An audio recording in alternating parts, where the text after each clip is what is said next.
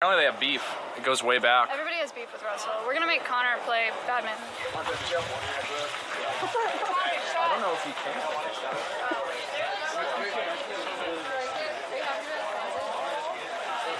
if he can.